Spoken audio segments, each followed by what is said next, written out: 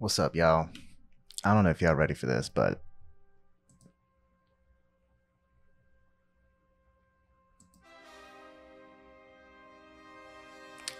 this is footage of a new mech coming to Mechabellum June 27th, the end of this month.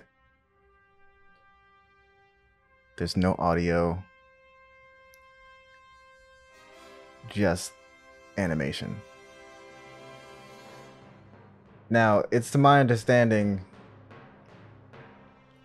that no one on YouTube has put a video out talking about this because it seems low key. This is neither a leak or anything because this is on their page as an unlisted video. Okay. But there's a new mech coming, y'all. There's a new mech coming. Yeah. Now, I know y'all don't know who I am. My name is Pookie, aka David, but name's aka Pookie on YouTube and Twitch. Follow me on Twitch. I will be streaming this game here and there.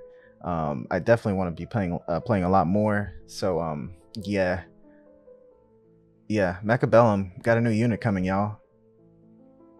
Shit, this is crazy. Look at that thing. Yeah.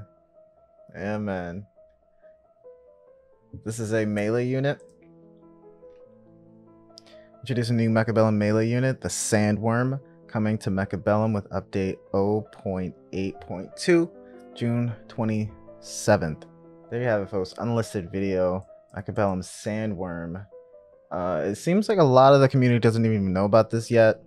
Mm, but uh, yeah, stay tuned, subscribe, and follow me on Twitch. I will be live shortly after this video goes up, but I will be live throughout the weeks going forward, playing uh, some V Rising, playing some Mechabellum, all kinds of stuff. Um, I play all kinds of uh, games, uh, indie games, especially games that haven't even reached 1.0 yet. Uh, so yeah, tune in. I appreciate y'all for watching.